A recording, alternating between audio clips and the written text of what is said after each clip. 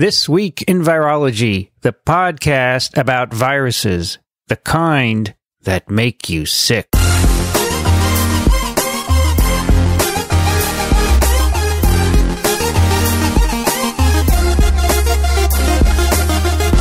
From Microbe TV, this is TWIV, This Week in Virology, episode 475, recorded on January 5th, 2018. Hi, everybody. I'm Vincent Racaniello, and you're listening to the podcast all about viruses. Joining me today here in New York City, Dixon Despommier. Happy New Year, Vincent. Thanks. You too, Dixon. Thanks. And uh, it's it's really cold. Do they actually want to know? And we got we got six inches of snow yesterday. That's right. Also joining us from southeastern Michigan, Kathy Spindler, Hi, everybody. Kathy, Happy New Year. same to you. too. We are having another beautiful sunny day. So, yes, the temperatures are cold, but with that are clear skies and sunny days, which for us uh, can be kind of rare in the wintertime here in Michigan. So, I'll take the cold. Also joining us from western Massachusetts, Alan Dove. It's cold here too. Yeah, bad. How cold is it, Alan? It's actually the same temperature you've got. It's 12 Fahrenheit, minus 11 C. Um, it is supposed to get down to minus one Fahrenheit tonight, Right. and minus nine Fahrenheit Saturday night. Jesus. I heard that every state in the union today has freezing temperatures, right? That's true. That's remarkable. Let's Wow. find out what it is in Austin, In- Texas. including Hawaii Well, uh, that's a very good question. well, they could up on the mountain. on the on the mountains. yeah, the mountain. Rich Condit, welcome. Hey, good to be here. Uh, so we do not have freezing temperatures here. We did have four consecutive days of overnight freezes. I got up one morning and it was 18 Fahrenheit, Mm. Which is uh, that's uh, unusual There for, goes the uh, cities. Yeah. for Austin. but it has passed us by, and today is 61 Fahrenheit, 16 C, and beautiful sunny day. Nice. It's nice. So the worst has passed for us. So when I when I came in today, we have a lot of wind here. My windows are leaky. And some of you remember in the past hearing whistling, right? Mhm. Mhm. And it really is disruptive for the podcast. So I figured out how to tape up the joints Stroke between the of windows. I got some clear plastic tubing in the lab and I put it in the joint and I, I dried the joint because it was all frozen on the inside from condensation. I got a heater and dried it off and I taped the tubing in and now it's silent, right, Dixon? This is true. It's just, it's like a two foot area of the window where there was a gap and it was whistling in. So when you say you got a heater to dry it, is that did you have a hair dryer?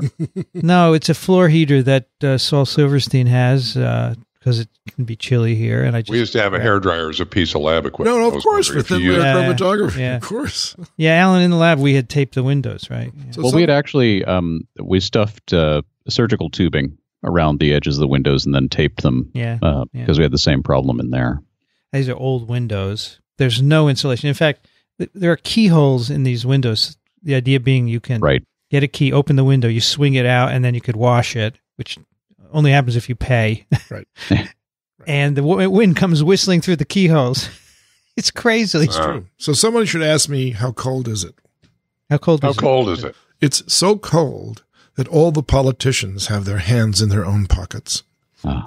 Where did you hear that one? I heard that one once. I think it was on the Dick Cavett show. I never Okay. forgot it. This is the first uh, TWIV or any of the Microbe TV podcasts for 2018. Right. And hopefully I can remember 2018. Sorry, but I do like the number this year. Last year, 2017, that was an odd year. Don't like that. And, you know, all my thermostats I have on even numbers because I'm very superstitious. Drive, Oh, and I know when people change it to 67 in the house, my daughter tr- trying to mess with me. You should have played baseball for a living. my car it's all on even yeah it's so silly it's just a silly thing for a scientist but for some reason i don't know why i should have played baseball i was is, no is good There an, uh, is there an even number on the uh, wall of no uh, i didn't plaque? no no no not at all but what i was going to say was what was i talking I about don't know. 17 was worse than 18. 17 was worse. yeah, Than t- 17 was a pretty crappy year in many ways so hope well, not for podcasting it was great for podcasting So who knows this answer? It was 217 and 218 prime numbers or not? 2017, I think, was Yeah. a prime number. I think that was prime. yeah it's probably And Yeah.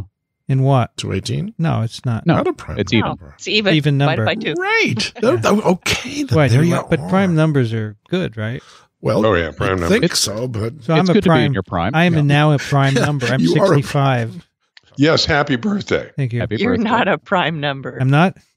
no, 65 is divisible by 5. he's not a, he's Oh, not it a is. prime number. He's a prime suspect. Sorry, it's not. You're right. It's divisible by five.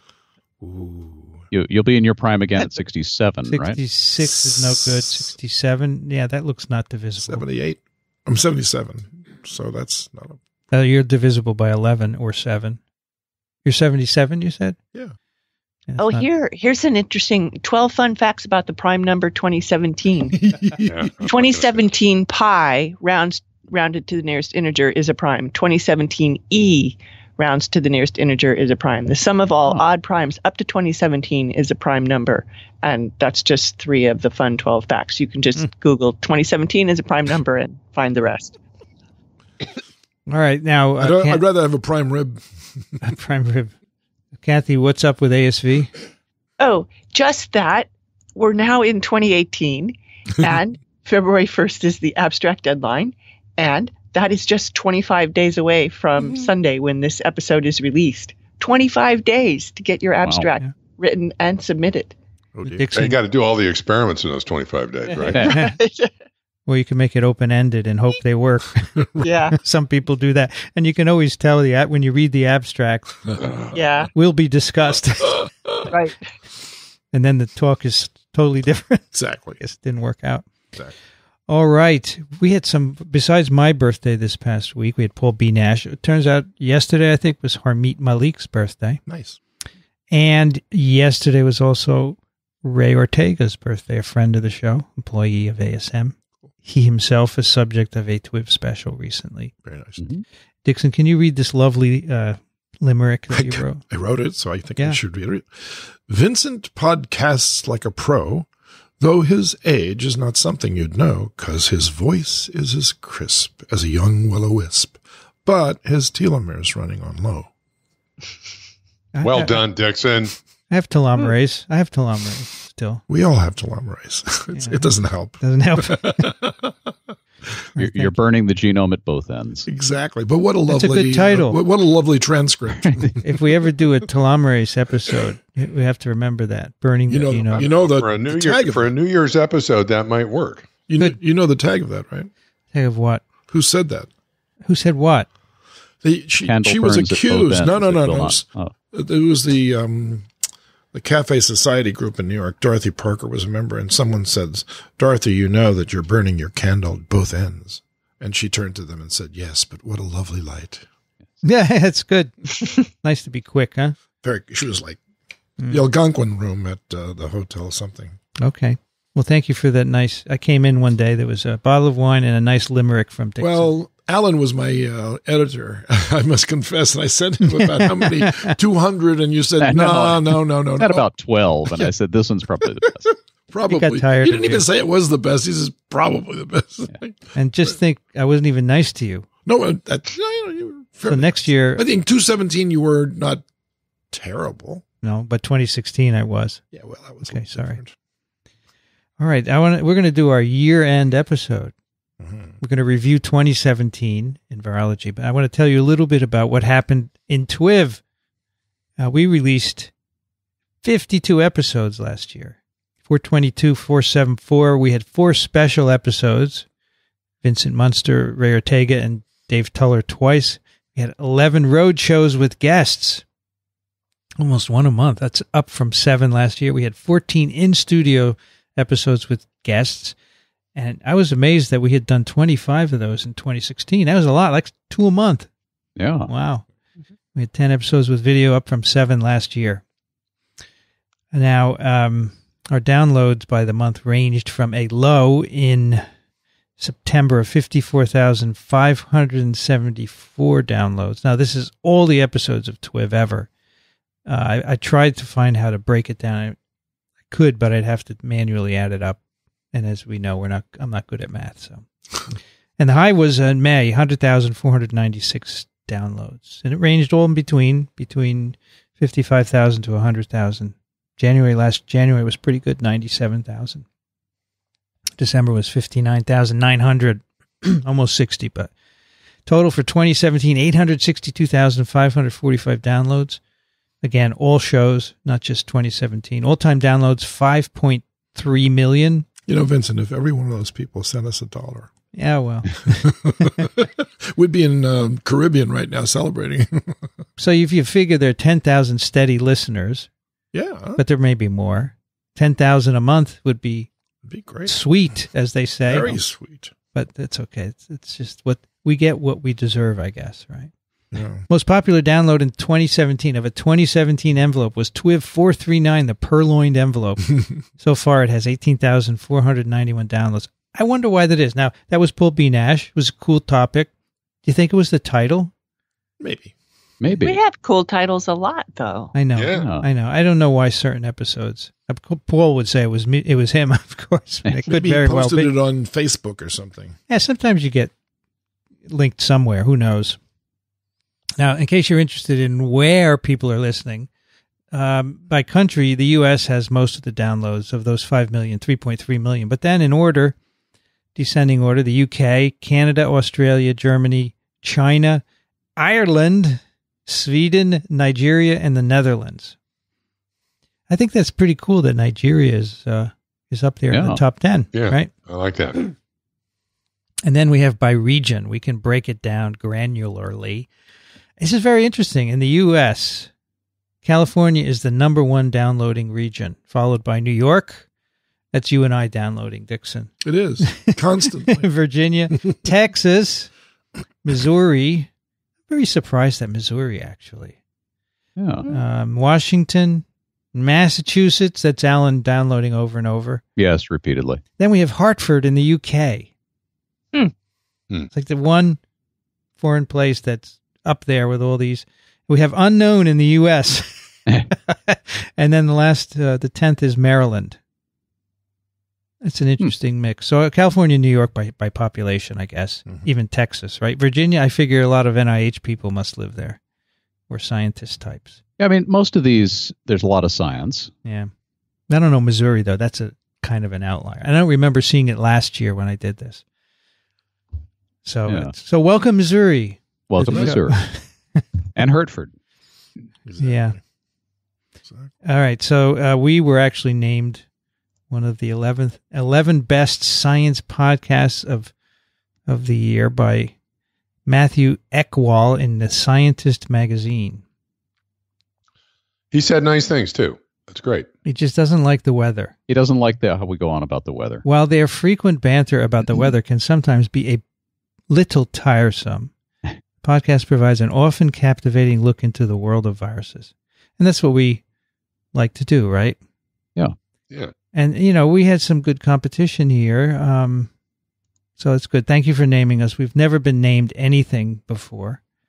Or at least they didn't say it in public. Yeah, I were- think it's I think it's pretty cool that we made somebody's top eleven list. yeah. Why do they have 11 and not 10? They want to be different or they couldn't Oh, it they, they couldn't These go it up to down. 11. Plus 11's a prime number. we we have sometimes done 11 top virology stories of the year. Just Well, I'll tell you, we could use some more spaces here. we could use because there- 52 we had a lot of- spaces. Well, we Yeah. kind of use this as Exactly. a as a summary of the whole year. Yeah, It's the- just, the 10 is just a rubric. We don't. Yeah, we don't have a. We ought to. Have, we ought to summer. We ought to, eleven ought to be a summary of the weather, Yeah, that, that would work. the top weather events of the year. I want to thank Jennifer for doing the timestamps uh, in 2017. She has defended her thesis in September and moved on, so she's no longer doing that. And I also want to thank the American Society for Microbiology, the American Society for Virology for hosting episodes, and also all the places that hosted us University of Wisconsin, Madison, Cornell, the NITO virus meeting in Kansas City, Rocky Mountain Laboratories. Remember, Dixon? Who could forget? Penn State, not Penn, University of Pennsylvania, sorry, Penn, uh, Tufts, Dental School, and Indiana University. At the Capsid Club. The Capsid Club. Capsid Club. If you want to join, Bring your protein sequencer. someone actually wrote, How can I join on some social media that I broadcasted that on? Cap- Someone wrote, Can I join the Capsid Club? And all of well, uh, they, they just kind of pick you up. They're self-assembling. they're self assembling. That's right. Capsid Club.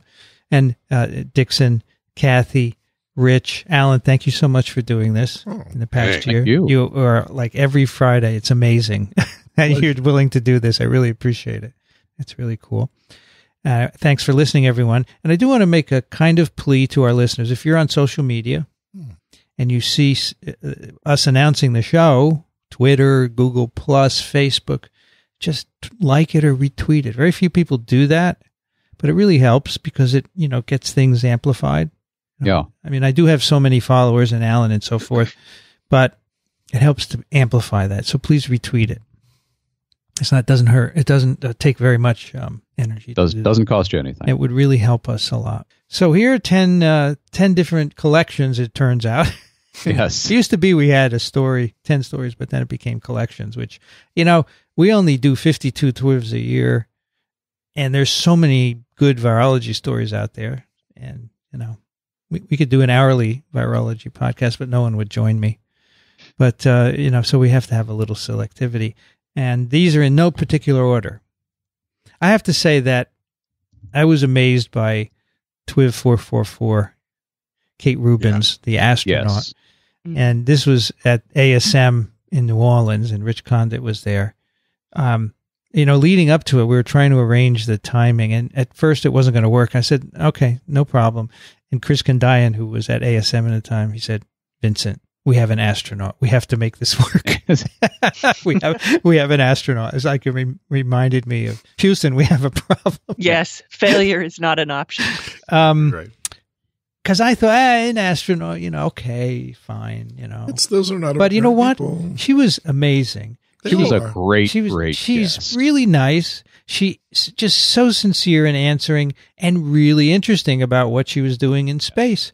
And you know they do selectively take people and make sure they have certain qualities. And you can tell they're all really nice people pretty much. And unusual people. and unusual people. And she she was just so much fun to talk to. Yeah. you know and she threw out shirts for us. And she was great about answering questions. So i thought astro kate the right stuff was a really yeah. It's a good good ep- title. and she is a virologist too, which is cool, Right. That's very. and interrupted her her career to to uh, enter the astronaut corps. But what she is doing up there, I think is when you've pretty been in the astronaut corps, you can go right back to whatever career you were in, and they'll take you. It's true. yeah, probably. Although 'Cause I, come on, I, don't think she that- wants to. I think she's that happy tops that all excuses. Oh No, yeah, I talked to her about that. She's gonna. get to- she- she- Get to she's fly gonna- jets she's and gonna- space shuttle. But but most of And them, so, Rich, you were gonna um, meet up with her. Did you ever do that? Yeah, as a matter of fact, I just I had on my New Year's uh, pick list uh, to write her, and because she uh, suggested that uh, we come and visit, in, in particular uh, with with with the kids. So I just wrote her an email um, uh, following up on that, and hopefully she'll give us the Cool. Cook's tour of NASA. That would be great. Cool. Har- Harper got uh, the uh, Women of NASA Legos kit Nice. Yeah. uh, Christmas, and I I should have sent a picture of her with her Legos kit to to Kate uh, along with my email to grease the skids, but I don't think that's going to be necessary. She's sincere and she's enthusiastic. You know, I think part of the whole NASA shtick is to uh, have people who will promote the whole space program. Yes. well, Um, I was going to do so well. Sure, I was going to speak to that because I, I um, had the privilege of interviewing and uh, introducing Story Musgrave to uh, our audience here in Columbia uh, for a memorial lecture, and then we had dinner afterwards, and I sat next to him, and it was just very exciting to speak to someone who's been in outer space six different times, right? And he, the reason why he was here was because he's a PNS graduate. Yeah. So, did he go back to medicine? No. Do you know what he did? He got a job in the PR department at Disney in Orlando to hype space. Oh, that good. was what he wanted to do. After that, Yeah. he just wanted to say, "This is such a great thing, and I want everyone to know about it." And just, just like you said, so I think a lot of them don't go back to the to the lives that they had before because their lives Yeah. are totally changed as a result of what they did. One of the coolest things that uh, Kate uh, came up with that I really loved that I was relating just last night, I think, was when I asked her, um, you know, how cool was the spacewalk? And she said, that's what we call type two fun.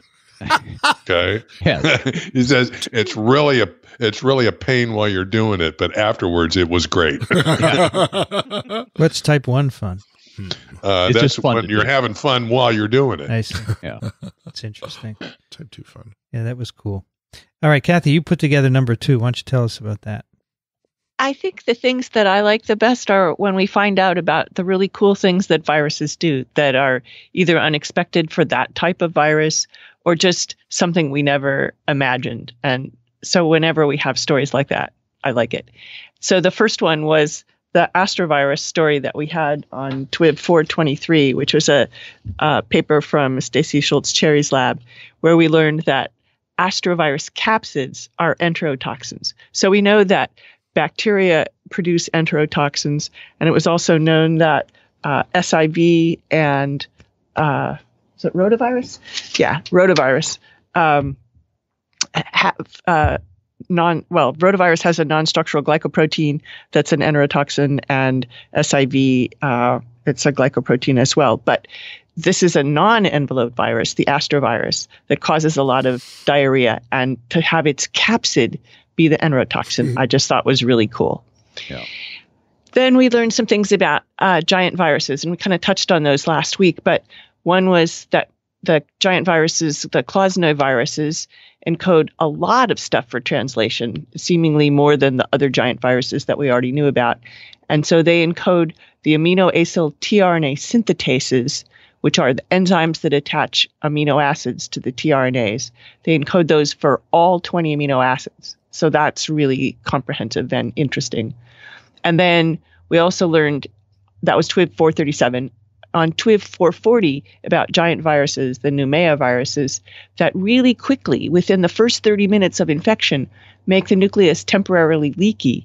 And that's presumably so that they can get some host enzymes from the nucleus to synthesize their RNA in the cytoplasm. And so we don't know anything more about that mechanism and how it works in 30 minutes and how the nucleus is only temporarily leaky. So I think we're going to be learning more interesting things about that in the future. But to me, those are some really cool things we learned about viruses. So this Numia virus episode was called "I Hardly Numia Virus," Right.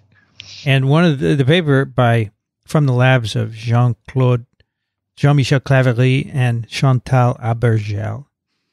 Uh, one of the words they used in the paper was circumvolution. The Yes. virus. Oh, right, I can't yes. remember the context, but I looked it up. So we- yeah. I was looking for an image and I just searched for circumvolution. I found this lovely piece of art um, by um, an artist, Ninad Serovich, which I used for the episode art. So I thought that was interesting that someone has made something called circumvolution. And then he wrote to me and he said, even though you made fun of me, it is a word. okay. Alan, I think you liked Doctor's Twiv. I did. Doctors Twiv go to Washington, and what I what I was really pointing to here is this this kind of movement, um, the March for Science, uh, when it it went from being a um, kind of a hashtag on social media to being an actual event to being an actual movement, and I still get emails from these people, and they've got a whole thing going on. Um, and this was the process of scientists as a group really becoming politically aware as a result of some really bad stuff that's happening in politics in the United States right now. And I think we're all quite aware of that. Um, and uh, Ed Young did a good write up of the march. Um, but our episode where, where we all went to Washington and, and recorded an episode there, and, and then we went and participated in the march, which was wet and cold and yet terribly inspiring, um, was was all part of this whole thing.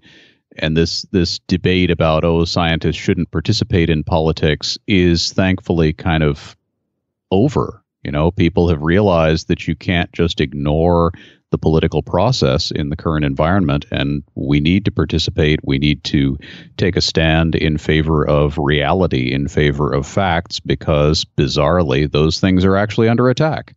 Um, so that was, to me, that was kind of an inspiring moment for for the show and for science in general. Yeah, it was fun. We did that at ASM headquarters. Yeah. And we had, and Kathy was at some other science So, communication thing. yeah, right? Kathy Mhm. was Kathy. Was, you were picked for an award, weren't you? Yeah, I was a Pointer Fellow at the at Yale. Yeah. Right. and uh, we had Stefano Bertuzzi and Susie Sharp coming in from Europe somewhere on a TV next to us. So that was a lot. We actually had an audience. We threw out little giant microbes at the end. Yep. That was a lot of fun. I I collected number four from shows that all of you liked, and I Yeah. put them under the rubric unexpected stuff. Yes. stuff you just like, oh my gosh, this is, and one is 451 expectorate the unexpected. And this was a paper where they, this is mosquitoes transmitting West Nile virus, and they would sequence uh, what the mosquito was taking up and what they transmitted. Technology now lets you do these kinds of experiment. And what they found in this paper is that uh, with each blood meal, they transmit a different West Nile virus population, but in the bird host, the differences are purged. They go away. And that happens over and over again because there's some selection in the host. That, well, we don't want most of your variation. You know, I, I just, I wouldn't have predicted that. So I thought that was pretty Yeah. cool. As much as anything else, I like the technology in that paper. Technology. You know, is to really good yeah. too. Mm. Get that kind of information from individual mosquitoes and and their expectorates. You know, it's amazing. It's a good title too. Yes. Uh, the oth- another one was 470, just a passing phage. The idea that bacteriophage particles can move across monolayers of eukaryotic cells. hmm That was just bizarre. And Yeah. who knows what it means? Maybe we'll find out. So there was a spec. I read this in Cosmos magazine just recently. Gee, you read that? My favorite magazine. No, it, it said that perhaps these phages are moving into the blood and m- knocking off Maybe. pathogens. Maybe. Yeah. Got to show it, right? That's their, you know, take. Uh, four, five, six. Be careful of cannons. So that basically summarizes this whole group. I thought this was really cool. This is where uh, Brianne Barker joined us. Um, first of all, the, there was two different stories in this. The first is that mutations in RNA polymerase three gene predispose children to severe varicella. Mm. Right. Yeah, and your initial reaction to that is, What? huh? Yeah. right. because Paul three is basically producing transcripts um, that are allowed that are allowing sensing of the virus by the innate immune system. Right. And you know, so basically, Paul three is a sensor, and we never. I just would never have predicted that, right? Um, and then um, the other part of that show was detection of an RNA virus by a DNA sensor in the cell. And this is a really cool story where dengue virus infects, damages mitochondria. Mitochondrial DNA is released. It's then sensed by the CGAS system, and you initiate an innate immune response. Again, totally counter to what you would think. But the, an RNA virus being sensed by a DNA sensor, yeah, it's kind of indirect, but really cool stuff. I love that one. That's a really good one. Should change the name of the sensor. Well, it's mostly uh, it is a DNA sensor for for DNA viruses, right? But just so happens that it works in this case. Oh no, Just, DNA shouldn't be in the cytoplasm. That's the bottom line. this is all true. Four five five pork and genes, Wonderful. and this one is where this is maybe this is in the area of I can't believe they did this. Right. Yeah. Uh, they re, they removed they created pigs free of endogenous retroviruses, Yeah. basically, so they could use them for they, they inactivated all of the endogenous retroviruses. They used. CRISPR to inactivate These- them all. these- And we had talked about this in the in the podcast with Paul Benash, and he said, "No, no, that can't be possible." And uh, if, the next week, Jeremy Lubin emailed us and said, "Yeah, George Church did it. Here's the paper." He said, "Never underestimate George Church, who's quite a force in molecular biology." Crispy. Yeah, it's um, uh, amazing that, that you know. As I was looking into this paper, I didn't actually expect them to go all the way and make pigs Yeah, Yeah. Mhm. that that didn't have uh, that had inactivated uh, yeah. ret, uh, endogenous retrovirus. Amazing. And then the other one in this group, conjunction junction. What's your function? Four three two, a gamete fusion protein. Uh, this came from Tetrahymena was one of the organisms, and the other one was Chlamydomonas, I think, if I remember. These were viral fusion proteins. They came from viral fusion proteins, and that one of the groups was up at Cornell. I remember. Uh, I I just think that I, it's amazing, right? It's, it's it's a gamete protein that's needed for fusion of gametes during reproduction, and it came from a viral fusion protein. the next one, 443 on a leaf, no one can hear you scream. This is just a paper that I came across in some looking for something. Um, it's in a funny kind of journal, which it, it's in the Royal Society Publishing. What the hell is the name? I'm trying to get it up here. It's a bit slow. Oh, here, Proceedings of the Royal Society B. I don't know what A is, but this Yeah. is B. So it's a journal that I don't really look at, but it turned out to be such a cool paper. Basically, um, this wasp associated virus, the, the wasp uh, lays its egg in a, in a ladybird or ladybug, right? Mhm. The ladybug uh, hatches the cocoon but gets paralyzed, so the ladybug stays on top of it and protects it until the wasps comes out. And about a quarter of the ladybugs, they're paralyzed while they're doing this and twitching to scare away predators. Right. And then a quarter of them recover and go on to have happy lives.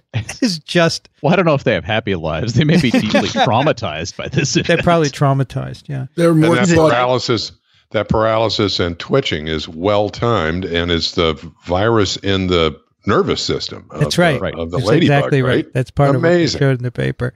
And I mean, the title of the paper, Who is the Puppet Master? It's just great. Now, Actually, they should have titled it "On a Leaf, No One Can Hear You Scream." that was a great title. now, this kind of behavior manipulation we've we've talked about before on TWIV with the wasps injecting viruses that are in, in their genome into caterpillars to suppress their immune system. And then there was one a while ago, I don't know if you remember, where a virus delivers genes to a plant that makes the plant give off organics that attract aphids, but they taste badly. So as soon as they take a little sap and they get a little virus, they fly away. Right, Perfect, right? right. Stuff like I, I, this, this is cool. I love this behavior manipulation. So uh, that was that one. That's number five. Now, Yep. a couple of you liked our episode at ASV. yeah. Yes, definitely. I With like Mavis, Maven. Mavis, the structure maven. She Right. was great. She was just just an amazing guest with a, an amazing story, and um, of course, we had a huge audience. That was a nice touch. Yeah, we were all Uh, there actually. We were all there. We were. Yeah. and um, we have video and yeah we had a great audience who didn't make much noise at all right No. Ra- No. they were wrapped. they were They were in awe. it was a good uh, she has had a great career and there's someone who is and she talked about this how she's done things that impact people like working on viruses that are used for gene therapy Mhm. And that was really really cool Coming from the coming from a small village in Africa. I Yeah. forget which Sad. I forget which country. Nigeria She's was it? Nigeria. Yeah, Nigeria. and Nigeria, Nigeria. She, She's she- got Yeah, that. she walked around barefoot Yeah, she's got that. She didn't wear shoes until she was like 11 years old or something like Right. that. She's got that marvelous picture of her and her and her her mates. You know, She had this gr- great story where she said she, her husband wanted to go to Michael Rossman's lab, you know, and he says, "Well, I have my wife is going to come with me," and he said, "Put her on the phone. Let me talk to her." Yeah. And he talked to her for a few minutes, and she and he said, "Yeah, you- you're fine. You can work for us too." Yeah. And she went, and then her whole career came out of that. It was great. She it was really fun when she said it. Uh, then we have a number seven. I I called these, and these were again episodes that various people picked. I called the "Viruses Are Us." Yeah. Right? They they do things for us, or they're part of us. That Or we stole parts from them. Yeah. and the riddle of the skinks was about Yes. the retrovirus driving the development of a lizard's placenta. And I must say, I didn't know lizards had them, so that I Right. learned something right there. hmm I thought that was really cool. But of course, the placenta being driven by the envelope protein of retroviruses is, is multiple times, multiple animals have that happening for them. So this, to me, this was just a, uh, a a marvel of convergent evolution. Yes. Just amazing. the, the, the placenta arose multiple times through different thefts of retroviral envelope proteins. Like Right. that's that's just so parallel. Right.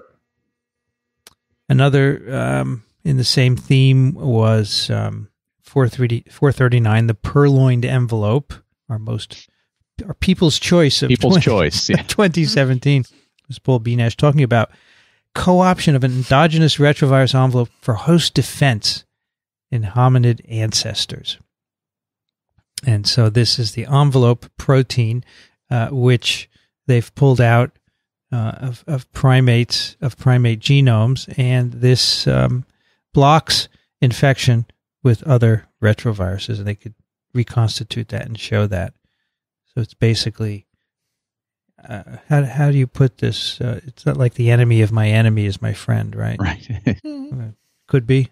Well, anyway, another example of how um, viruses are us. And then the other one was 434 Live Long and Pupate. I like that one. That's a great title. Alan Dove has done most of them. He has. He has. I think that was one of mine. Clever guy. The um, again a wasp virus this is a new negative stranded RNA virus of wasps discovered in a search doing sequencing of wasps that regulates its longevity and the sex ratio of the wasp. It's amazing, right? Yeah. hmm more behavior modification, I guess you could call it. All right, number eight. I, again, I, co- I collected a bunch into a category called antiviral RNA. We talked quite a bit about antiviral RNA in the past year. 433 poops, viruses, and worms. Mhm.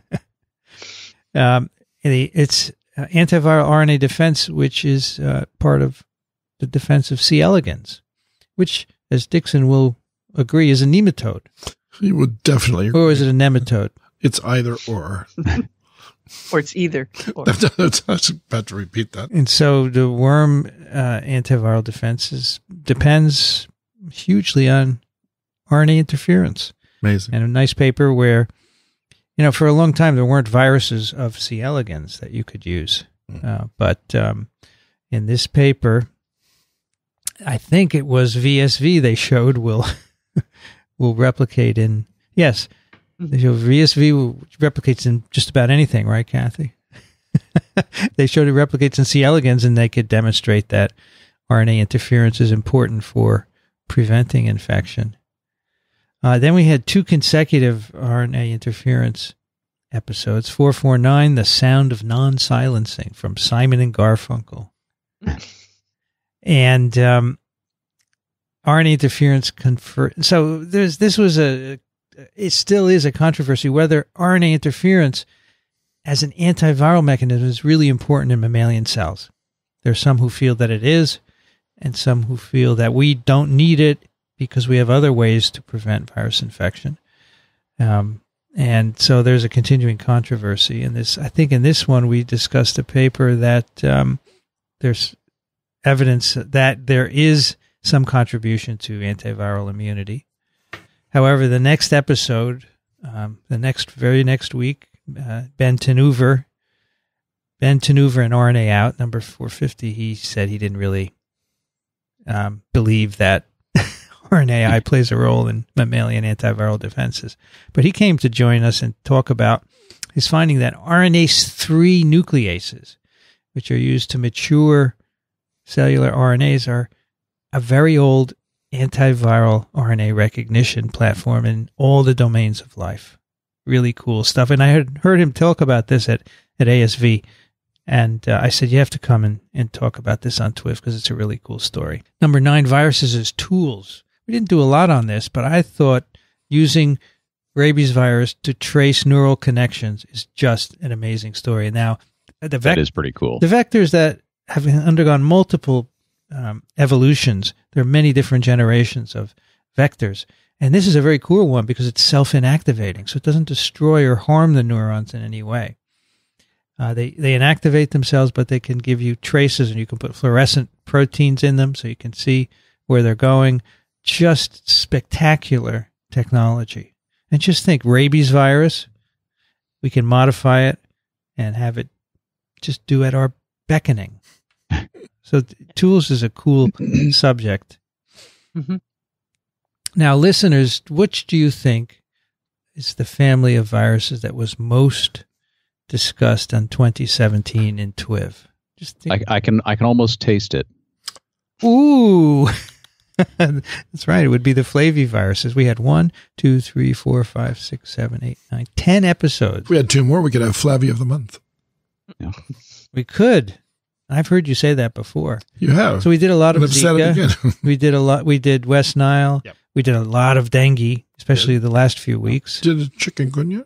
That's not an alpha, a flavy. That's an alpha. I was just going to say. yeah, you are. I, I'm- I think we mentioned yellow fever at one time or another.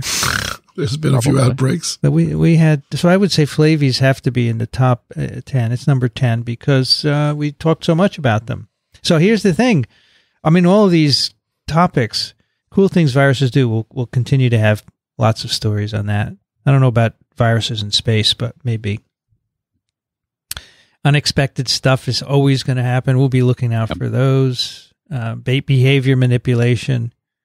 Viruses are us. Antiviral RNA Cool guests. We'll have cool more guests, viruses as tools. Um, and, you know, the year before 2016, we did a lot of Ebola virus. This year, we did quite a few Zika virus episodes. Who knows what the virus of 2018 will be? We do not know. Maybe it'll be flu. Hard to predict. Maybe it will be flu. The actual Zika outbreak was 2016. Is that right? Mostly, yeah, I think. Uh, started. So, so Yeah, we got through a whole year without a new outbreak, which is actually unusual. It's almost like an outbreak a year. Yeah. yeah.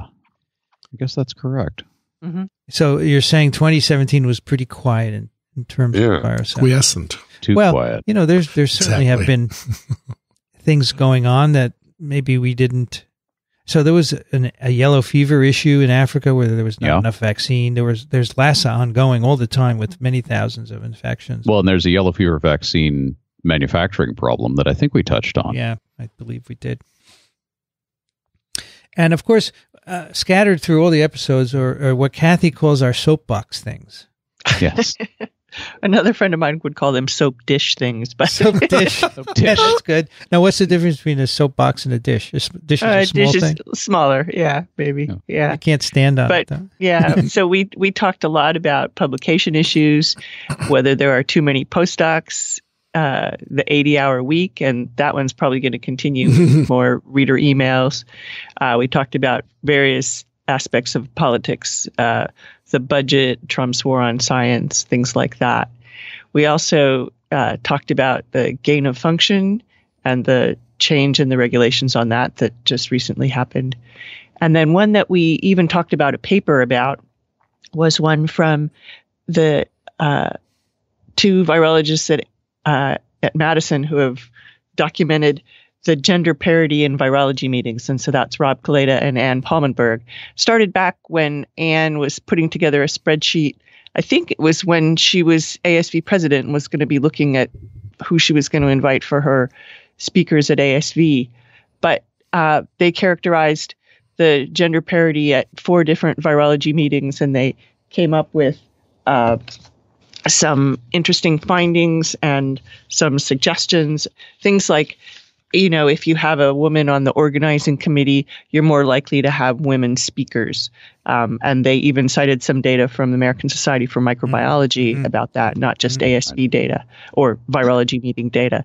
So um, I, I think that was a good thing to get out there, and they really did a lot of data analysis for that. And uh, I think it's an important topic that if you really focus on it, you can get some gender parity in your uh, speaker lists for meetings, your convener lists, and all of those things are important. And not only should we be doing that for women in science, but any kind of underrepresented minority in science, wherever we can do that. I think there was that. that and this is this isn't just um I think it's important to point out this isn't just a feel good effort of let's you know try to represent all groups. This is it, when you hold a conference, you're trying to represent what's going on in a field, and if you if you have a skewed group that does not represent the workforce actually doing the work in that field, it's a very strong indication that your conference is not doing a good job of covering the field. Right. Mhm. So if you if you have a bunch of dudes at ASV talking about virology and that's your whole all your panels, um, y- you'll hear some interesting talks, but there is so much other work going on being done by people who didn't match that description that you're going to have to say, well, it, is there bias in the selection of this group mm-hmm. that is skewing what we're seeing of of the virology? And sure enough, you know, you get better representation, you get a more diverse topic coverage, and you get more diverse approaches to the science just because you've broadened the net in another way. The uh, ASM data you mentioned, Kathy, on conferences, I think they published that in MBio. Mm-hmm. I think so. I just saw today a tweet from related Arturo Casa Casadevall. Nice summary of a study showing that males are more common at the first position and author association stating the first two authors contributed equally. Hmm. hmm. So another similar study, right? Coming wow. Yep. Soap dish. I have to write that down so soap Because we could have an episode someday of soap dishes and soap boxes, right? Yeah. right. Now I have an honorable mention in TWIV 460. Gary Cohen. This was at Penn. You know, I asked people if you hadn't been a scientist, what would you have become? He said, I wanted, I would have run a porn shop, but with his accent, it sounded like something else. Yeah. And everybody, like the audience, laughed a lot. They thought that was funny. He meant a shop where people sell used items and, and resell them. Yeah, P A W N. Yeah, P A W N. Well, I thought it would be cool to uh, come up with what we think is the best title for 2017. I really like Pork and genes. Anyone else? I really like uh, on a leaf. No one can hear you scream. that was. I think that might be my favorite too. that was, that's a good one. Yeah, and I really like the riddle of the skinks. Did you like any Dickson? All of them. All of them. Sure. So he, Dickson told me before he had a favorite episode that we didn't that didn't come up. Either. Didn't. And what was that, Dickson? It was on the plaque assay, just how to do the plaque assay. Yeah, we talked, we geeked out on plaque We did, and it, it involved, this is the boring part of science that results in excitement.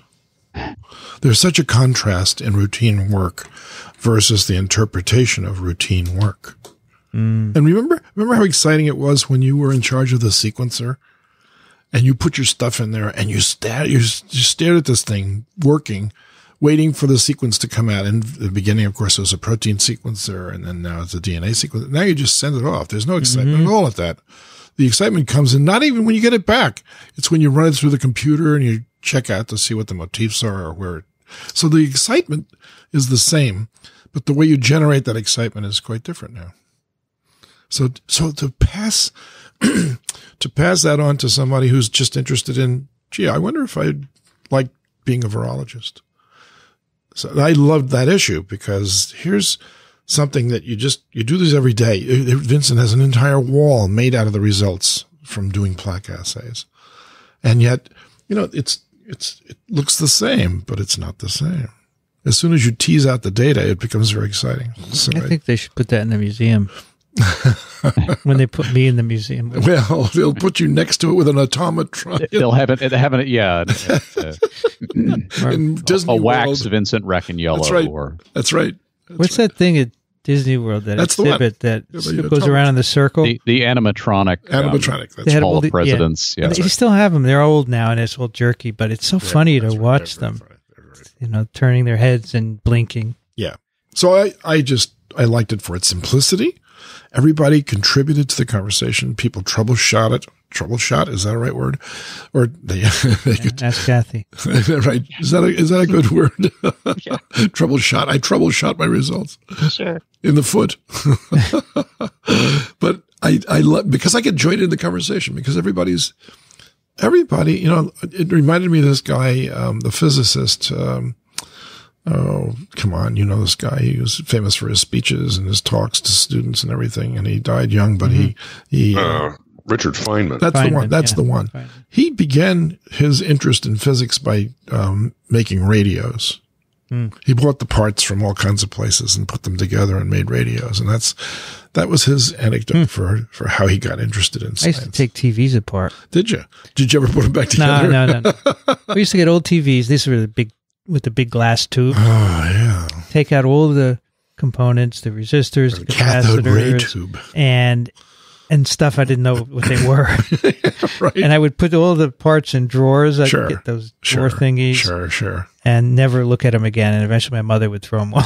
When I was a kid, I used to turn the radio around so I could look into the back of the radio Yeah. because it had these glowing tubes, right?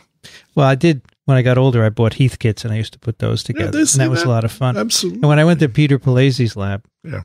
I bought two power supply kits from Heath Kit, right? And I Oh. put them together. I could do it in a couple of hours. Yeah.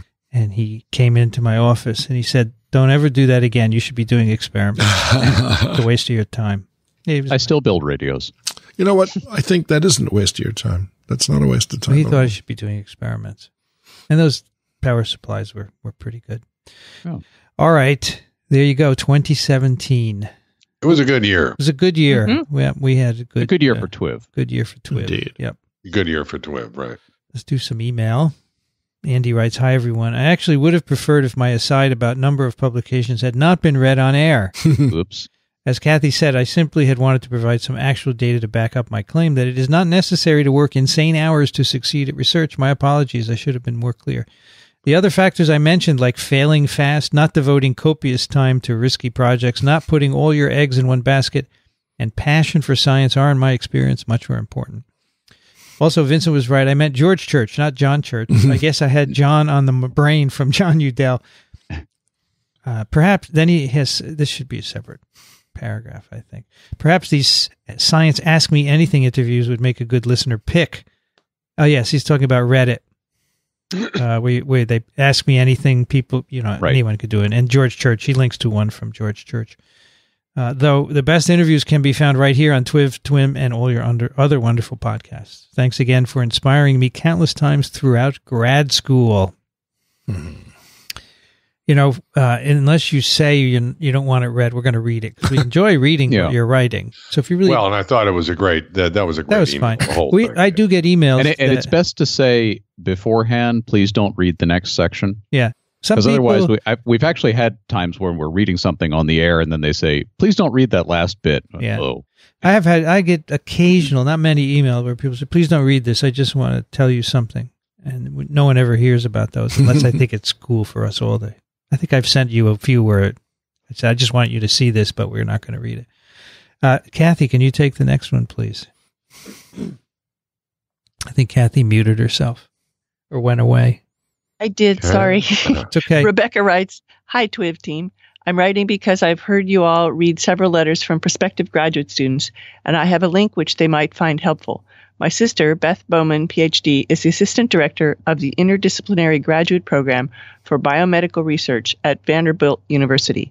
Because her job is focused on recruiting graduate students, she's developed a very helpful blog for future and current students, which is called Materials and Methods and can be found at vanderbiltbiomedg.com. One of the main goals of this blog is to help prospective graduate students understand what recruiters are looking for in applications.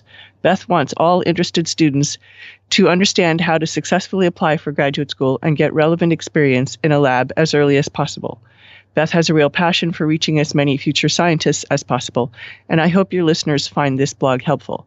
Keep up the good work on a very informative podcast. Thanks, Becky. And I want to point out, in case people have forgotten, that Vincent posts the letters each week. And so if there's a link in a letter that you didn't hear us read very well and you want to go back and check it out, you can always go to the letters and click on that and scroll till you find that one. So, but that was vanderbiltbiomedg.com, all one word. It's a cool. It's a cool This is site. doubtless a great, uh, great resource. The the uh, interdisciplinary graduate program at uh, Vanderbilt is a model for interdisciplinary programs. Very good. So if you want to find any TWIV letters, it's, it's easy. Microbe.tv slash TWIV slash TWIV dash episode number dash letters. That didn't sound easy. Now, the easiest thing to do is just go to the TWIV site and click on the appropriate link at the top. Yeah. It sounded too long. You don't think that's not easy? well, it, for you, it is. It just Microbe.tv rolls slash off TWIV slash. TWIV dash 475 dash It letters. rolls off your tongue. I, I do it the same every week, so it's easy to do. It's the same with an episode. Mhm. Okay, fine. It's too hard, Dickson. You can, actually, you can you can Google TWIV and then the episode number, and then letters. Yeah, that'll get to it and too. it'll give you Well, the that's letters. for that simpler. Google is faster than us. Yeah. What a world. Alan, can you take the next one? Yes, Brian writes Dear Twivers, I'm an assistant professor in the biochemistry and molecular pharmacology department at UMass Medical School in Worcester. It's a lovely minus two Celsius outside, and I just returned to my warm house from snowblowing our first seven inches of the year. I'm writing in regards to the conversation you had with John and Teddy Yewdell on TWIV 467 about the number of PhD trainees going through the pipeline. It was generally agreed by the guests and the TWIV panel that there are too many PhD trainees going through the pipeline and this number should be reduced.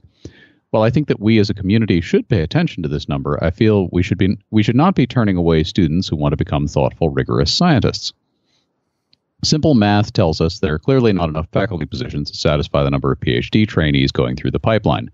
However, a PhD in the biomedical sciences is much more useful than just simply as a step toward getting a faculty position. As many folks have shown, Alan Dove being one of them, a PhD in biomedical sciences can be used for a myriad of important and satisfying careers such as biotech, education, policy, etc. Surely having more scientists in the world is a good thing, especially in government or policy making. I often think that my scientific skills could benefit the world more if I were on Capitol Hill rather than in my own lab, especially in these dark ages of Trumpish know nothingism. I agree with the panel that the current academic landscape builds unreasonable expectations for trainees, but I propose a different solution than limiting the enrollment of PhD programs. I recommend two concrete, actionable steps that can be taken at the academic level to improve the science pipeline. My proposals will help destigmatize non faculty positions, as many current trainees view attainment of a faculty position as success and anything else as failure. This destigmatization would possibly be the most important thing toward addressing the career problems for bi- biomedical PhDs. First, undergraduates should be informed as to the rate of obtaining a faculty career in biological sciences, currently less than 10%, before they enter graduate school. This should occur in undergrad classrooms. Likewise, graduate schools should publicize the rate of PhDs who enter the research faculty ranks during grad student recruitment. If students are armed with the percent probability of attaining a faculty position, then they can accurately assess whether pursuit of a faculty position is a risk worth taking. Second, graduate schools must incorporate career skills and planning directly into their curriculum. This type of integrated curriculum can educate grad students as to the various careers that are available to them and then help them plan for their career choices. Students should be exposed to PhD scientists in a myriad of professions so they can obtain knowledge, inspiration, and mentorship.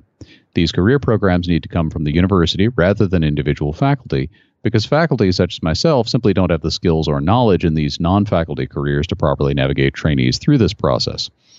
I would be remiss if I didn't mention that UMass Med School already has a world class career planning program in place. Perhaps the esteemed Alan Dove could be a career panelist. Uh, but in fact, that's something that I do periodically when invited. Um, about five years ago, so uh, Brian, give me a call. Uh, about five years ago, the university began programs to integrate career and professional development skills into the curriculum. The program has been wildly successful. Students have been enthusiastic, and the program receives extremely high grades in student evaluations. The program also functions as an effective tool for recruiting top students. Additionally, the program has benefited training grant and fellowship applications. Despite the success and obvious benefits, not all faculty have bought into the program. Interestingly, the faculty who oppose the program are not senior faculty, but a small vocal group of junior faculty. Their argument is that the training in career planning is wasting time that the students could spend at the bench getting data for grants and papers so that these junior faculty can get tenure. While I empathize with the Sisyphean struggle for funding and publishing, I feel that this eat our young attitude only perpetuates the problems plaguing the biomedical research enterprise. I can only hope that my note helps TWIV listeners value career diversification of PhD scientists so that we can start the process of saving biomedical research. Thanks again for the wonderful shows. My commute is not complete without a Twix episode.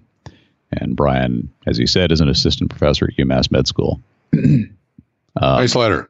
Yeah, excellent letter. These are great well, ideas. Well thought out. Yeah. These are very good ideas. It's not easy to implement them though. No. because Yeah. every place you know has their own ideas, It's- and, and not everyone's going to do the same thing. But I was thinking as I was listening to this, I'd like to see some sort of, you know, chart or spreadsheet or some sort of data gathering that's that shows where the other ninety percent of PhDs end up.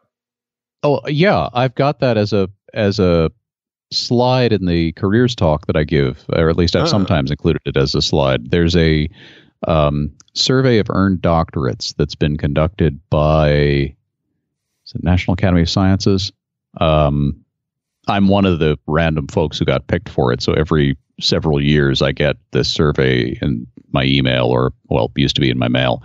Uh, so you, do do you still have food on the table? Yeah, basically, it asks it asks a series of questions, um, and they've got the information on how long you've you know since you finished your PhD. What are you doing? Are you employed full time in which of these sectors or other, um, et cetera, et cetera. And so these these data have been tracked since hmm. the, I think, since about the 1970s. Hmm. Um, and okay. that's where a lot of this stuff comes from. A, a, lot of these statistics come from how how we know that less than 10% will end up uh, in tenure track faculty positions uh, within a reasonable time frame after finishing a PhD, for example. Um, so yeah, that that has been tracked. Unfortunately, it's not extremely high resolution. So they track people. Are, are you working in industry as a scientist? Are you working in um, the private sector, not in a in a primarily research oriented role? Um, and then there's, I think it goes down to the level of what industry sector you're in. Um, so they would track me as being in publishing, but that's about as far as it goes. Hmm. it would be okay, cool good. if you could if you can find the link to that at yeah. some point. Yeah, yeah, I can stick it in the show notes. Yeah. Check for that. You know how to get to show notes, Dickson? Microbe. Oh, sorry. Never mind. Kathy, you there?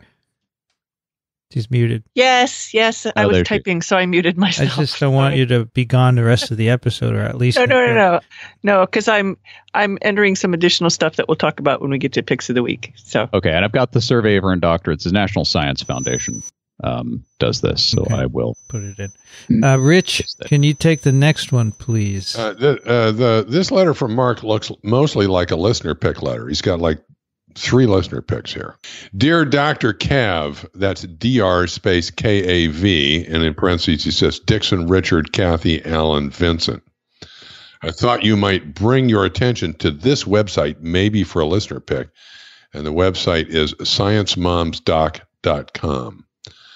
Uh, and it, among other things, uh, well, I had a look at this website and it looks awesome. This is um, several women who are moms and who are also scientists uh, who are basically uh, promoting science and in particular uh, are on a crusade against uh, anti-science and pseudoscience. And among other things, they've made a film. He says, I haven't watched the film yet. It's not free. But the website speaks to what comes up in your discussions on anti science and pseudoscience topics. Mostly it's in defense of GMO foods. What's your stance on that? Maybe you have discussed it in other podcasts. I'm sorry, but I only listen to TWIV at the moment. Thanks mm-hmm. for all you do, Mark. Uh, yeah. Uh, we're uh, we love eating genetically modified foods and all of the DNA therein. We're just crazy about it, right? Well, we've talked about it on Twitter yep. actually multiple mm-hmm. times, and uh, yes, we we have no problem. But you know, I recognize that some people do not want to eat them, and that's fine. You can do that, but I eat them all the time. My son argues with me vehemently about this. He says people should right? have, people should have a choice about what they huh. put in their bodies. They do. they do have a and choice. if people if people want to spend ridiculous amounts of money buying organic food, and part of the organic movement is that they're all anti-GMO, you know, eat your Ben and Jerry's ice cream, and and I I do too because it's good ice cream, but um, you know, eat whatever you want that's labeled as being non-GMO, and that's all fine. Um, I, I do object to this movement by the multi-billion dollar organic industry to try to stigmatize GMO foods hmm. by forcing them to be labeled as GMO foods. Um, that's I think that's totally inappropriate because there are already labels that say when things are not GMO. So that's fine. You want to you want to pay extra for all of your food to to avoid foods that have been determined by rigorous scientific tests to be completely safe, fine. That's not my problem. So you see, we have talked about it on Twitter. So yeah, we have talked about it on Twitter. a little bit. I will. I will eat DNA regardless of sequence. I really don't yeah. care. That's good. I will eat DNA regardless of sequence. I That's like right. that. That's right. I agree. Uh, so he goes on. Ahead. P.S. I, I have a listener pick. That was a listener pick, but he's got another one. I recommend the Science HIV website scienceofhiv.org, hosted by the University of Utah's Janet Iwasa. Janet obtained her PhD in cell biology at UCSF and is now working as a molecular animator and artist. There's a career for you. Hmm. She takes complex biological phenomena and renders them in 3D using similar techniques as Hollywood animation studios such as Pixar and DreamWorks. Her Science of HIV website illustrates the very complex life cycle of HIV as a teaching tool for educators as well as a hypothesis generator for researchers. Very nice. I looked at that. It is nice. PPS Janet would be a fantastic guest on TWIV as well. Her story is awesome. Tweevo's Nels Elde is a colleague of Janet's, and I'm sure she could. Uh, he, I'm sure, could vouch for her awesomeness.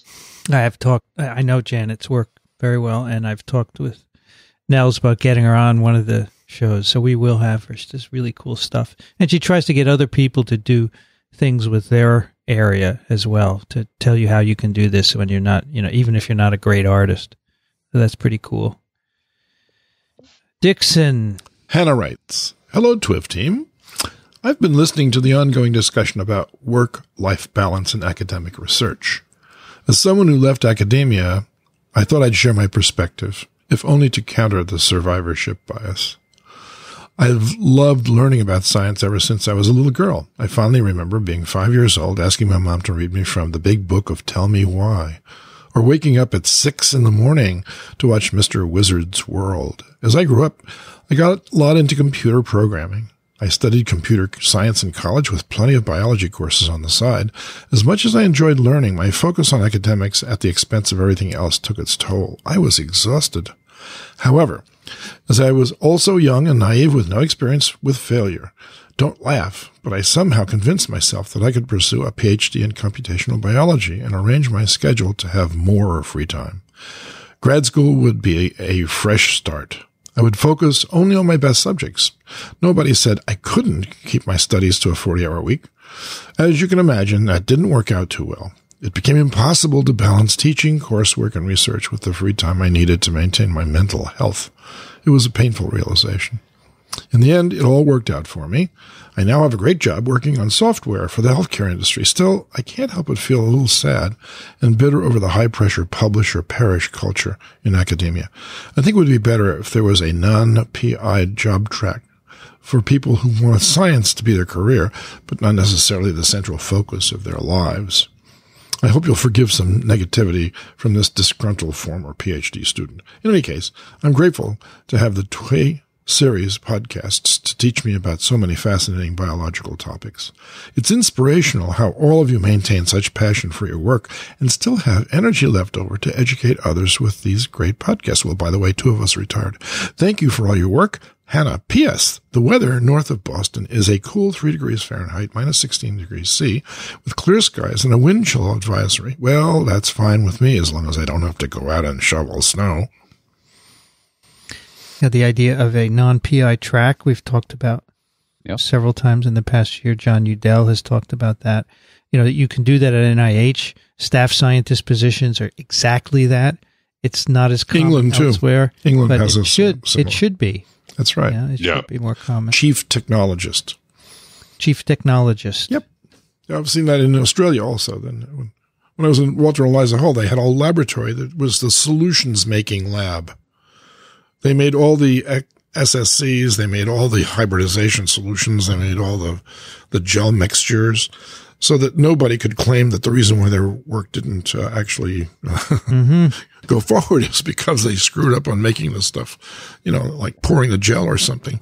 You couldn't miss on that one because they they did all the work for you. Yeah.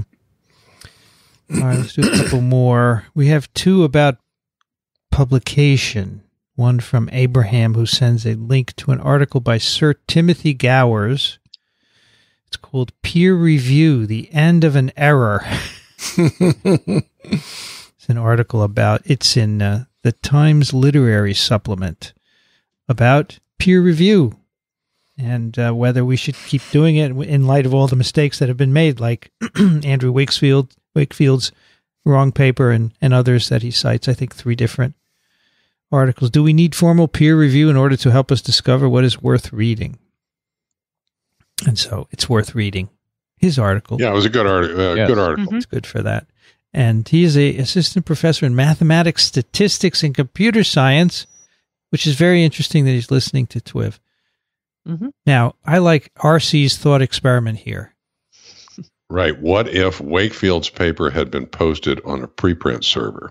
Because one of the one of the points that uh, this article makes is that uh, on preprint servers, an article does get peer reviewed, uh, and in fact, pretty rigorously. Uh, and that made me wonder, you know, would Wakefield's paper have even survived if it had Yeah. gone on, a, uh, uh, up as a preprint? And I'm guessing no.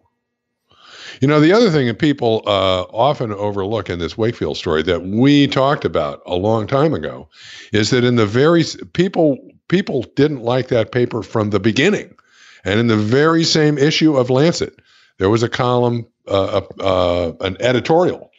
Uh, or a comment by uh, Bob Chen, and I forget who the other uh, uh, author was, taking that paper apart piece by piece. Uh, that was absolutely 100% accurate, showed all of the flaws and predicted all of the negative uh, fallout. And everybody talks about Wakefield's paper.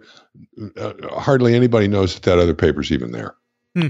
It's amazing. That's true. Until very recently, that other paper was behind a paywall, but Wakefield's paper, which had been, which with the with the bright red um, um, retracted stamp uh, emblazoned across it, was freely accessible. Great. I pointed out the discrepancy to the Lancet, and after some some additional back and forth, they eventually corrected that so that both are now freely accessible. Good. Um, Good. not that For that not that that helped a whole lot, but just saying, one of the reasons that the evisceration of Wakefield's paper did not get as much publicity was because it was it was hard for a lot of people to get Right. to.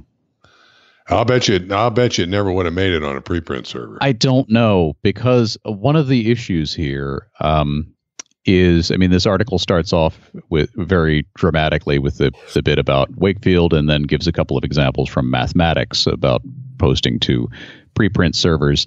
And the thing is, there's not there's not a whole lot of um, uh, money to be made and shysterism surrounding uh, abstract mathematical proofs. There just isn't. Whereas Wakefield was paid millions of dollars by um, uh, plaintiffs' attorneys to try to drum up a case against vaccine manufacturers, and that's actually where his paper came from. The funding for that was done for that purpose, which is something that was not publicly known until Brian Deer, an investigative journalist, came along um, considerably later and uncovered that interesting fact. Uh, so there's there's a huge industry built around the kinds of shysterism that Wakefield was was promoting. And my concern is that if you put that on a preprint server, it may not matter that the comments from the scientific community are overwhelmingly negative. Hmm. I'm I don't know because we Mhm. haven't Yeah. tried this experiment. I do think that preprint servers are probably a good way to go, even in biomedical research. Um, I think they probably can't be much worse than peer review. So it is worth a shot, but I'm not sure that that would have prevented what transpired there. hmm Yeah, we don't know. As Kathy points out, also the PACE trial papers would have been interesting Right. to see those Mhm. on a PACE trial for chronic fatigue, which Dave, Dave Tuller has written about extensively over on Virology blog. Turns out to be it was published in Lancet, right? hmm And Strike two. has re- has the data were Yeah. were released last year and show that the conclusions were wrong. That there was no improvement from having people undergo uh, cognitive therapy and behavior and uh, exercise and so forth for this uh, affliction. So yeah, I mean, putting papers on a preprint server lets everyone see them and people comment, obviously, and it can. I think it could make a difference, but who knows what would have happened? Hard to say. Uh, Chaim sent a letter, uh, a link to a New York Times article entitled "Many Academics Are Eager to Publish in Worthless Journals." this is something we talked about last year. Also, all these uh, predatory journals that will charge you a lot of money to publish your paper. I'm surprised because it doesn't do you very much good to publish in one of these work, worthless journals. But uh, Gina Kolata, who's the the uh, author, has looked into this and says, especially in places we have to do a lot of teaching, you don't have a lot of time to do research. Uh, this may be something that's useful for them. So that's a Times article. Check that out. And let's do a couple of more. Um, we are at Kathy. Can you take Greg's, please? Sure. Greg writes Dear Twiv, as a lawyer working in tech with a background in microbiology, I would like to respond to Sam, Twiv 468. Because policy is made at all levels of government, understanding science and the scientific process is important to government workers. We often speak of the 50 states as laboratories of law and policy, but government rarely acts in ways reflecting the scientific process. If you are interested in helping officials make better policy, please offer your assistance to local government and provide science based guidance. Perhaps more of our governmental laboratories will draft regulation that evaluates results based on a stated intent and makes recommendations for further changes. Thank you, TWIV, for the great work. Greg in rainy Seattle. and I went back because I couldn't quite remember uh, what Sam wrote about uh, in that TWIV 468. Uh, basically, it started out uh, in a PhD program, um, but then he revised his graduate education plans and decided to go to law school instead and uh, was pointing out that there's a need for science trained lawyers and judges. And then uh, Greg is elaborating and saying you don't necessarily have to be a, a trained lawyer. You can also just uh, participate in your local level of government and provide science based guidance. Although having both backgrounds would probably be helpful. Oh, yeah. Mm. All right, Alan, can you take the next one? Sure. Anthony um, sends a story. Uh, United United States bans most government scientists from travel to Cuba, and this was reported in Science by Richard Stone, who's um, kind of their go-to international correspondent. He goes everywhere. Um, so this is uh, quoting from the article. He talks about the, the, United States' new hostile policy toward Cuba undermines confidence in joint research, says Luis Montero Cabrera, a chemist at the University of Havana. Um, the Trump administration, as John Van Horn, a neuroscientist at the University of, Cali- of, Southern California in Los Angeles, has likely quote has likely shut the door to many U.S.-Cuban interactions. Mm. Um, and um, yeah, go, the article goes on. It's it's typically of of um, Richard Stone, a well-researched, well-written article. Um, and talks about the impact of this because there are ongoing initiatives and things, collaborations that were being put together um, including things about arboviruses. Um, obviously, Cuba and the U.S. are very interested in this both and uh, could do a lot by collaborating, but um, that apparently is not going to work. So uh, we had tried to normalize relations with Cuba, right? Yes. And now Trump is rolling that back. Is that right? Yes, that's basically what's happening. And mainly because it was something that was done under the Obama administration, yes, so he correct. wants to reverse it. I think that's the only the it's only, the only motivation for logic. Yeah, there's no reason to do this. There's no reason to do this. There's no reason why we should be bitter enemies with Cuba. The Cold War is over. They're they are an important nation in the Caribbean that we really should be working with. We have a lot of their former citizens living in our country. There are all kinds of reasons why we should normalize relations with Cuba, and this is just stupid. Mm-hmm. And part of it is science scientists not being able to visit, which is what this yes. article is about. Okay. Yes. Uh, Rich, can you take the next one? Josh writes, Vincent and Company. This was just released on PubMed today. See below. This seems to be speculation at best. The sample size is too low. I can't believe a reputable journal such as Vaccine would publish this. There's no prior evidence of this at all. Not every uh, now every anti-vaxer is going to quote this paper. Um, compelling earth-shattering claims require compelling earth-shattering data. I just don't see that here. And the uh, paper that he uh, quotes is uh, from Vaccine, published in September of 2017, entitled Association of Spontaneous Abortion with Receipt of Inactivated Influenza Vaccine Containing H1N1 uh, PDM 09 in 2010 11 and 2011 12. And he gives the you know, some of the summary of the uh, paper. And I guess the implication, I have not looked at this paper, but the implication is that the vaccine is causing spontaneous abortion.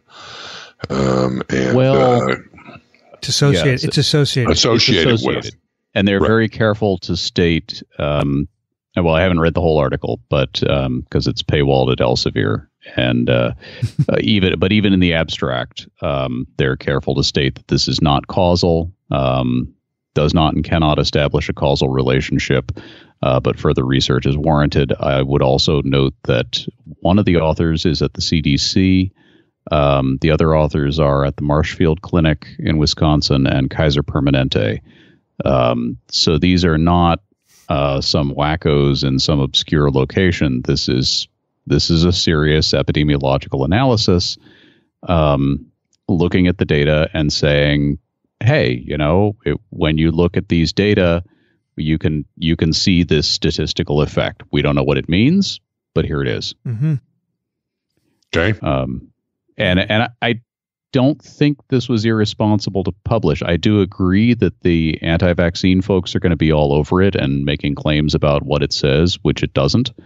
Um, but I I think this is straight up the job of public health people who look at the data and and look for correlations like this, which may very well mean nothing or may be worth looking into.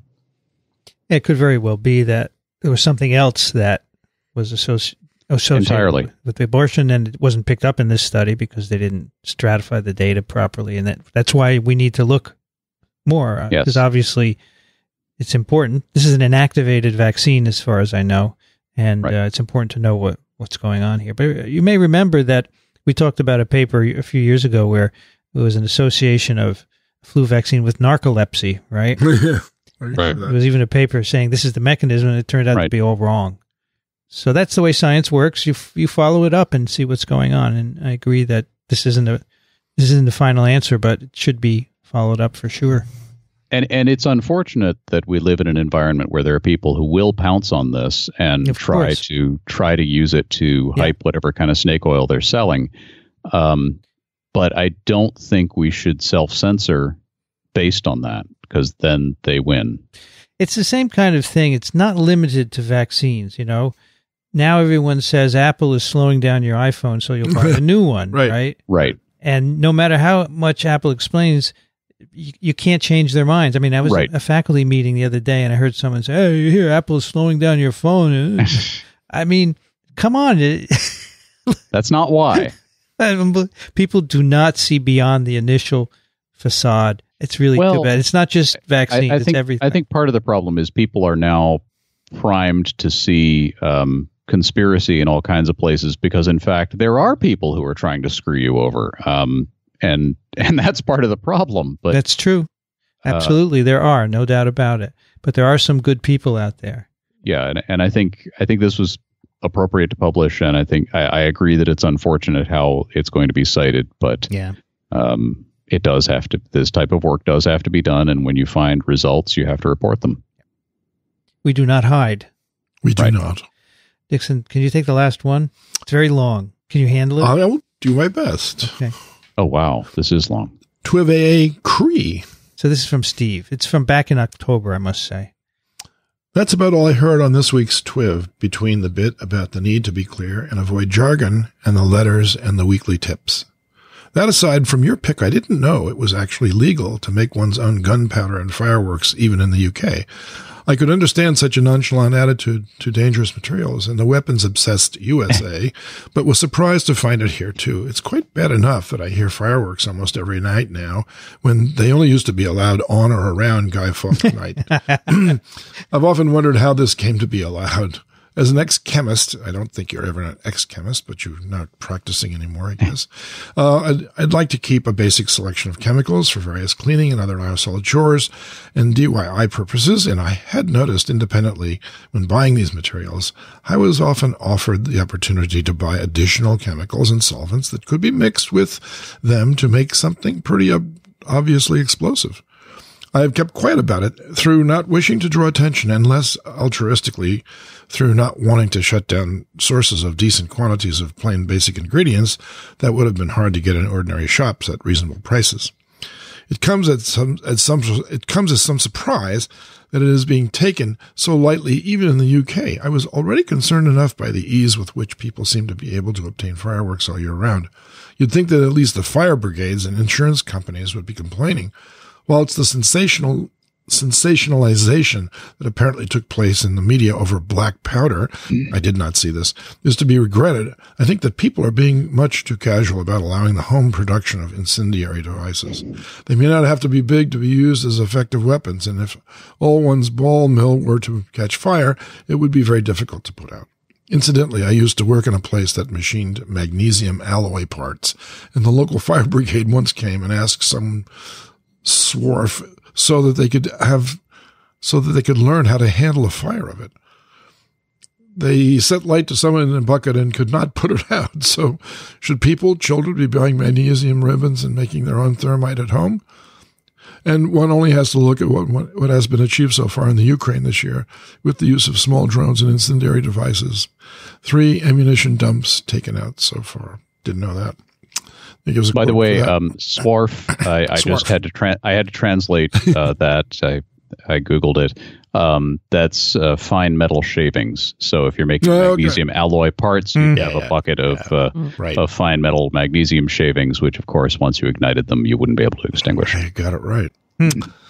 Uh, as I'm housebound, I would not want to lose the ability to buy useful chemical compounds and solvents from Amazon, but one also needs to allow for the destructive mentality, disrupt yeah, destructive mentality of most of the postal services that deliver them. It is the norm that anything that can be damaged will be deliberately kicked and thrown about until it has been achieved. Most of the time, the packages they are throwing about and piling up all together and then holding in their arms are not labeled as to what's inside. Now I try to make sure not to order incompatible things at the same time as you simply can never know how they're going to be packed, combined, and handled.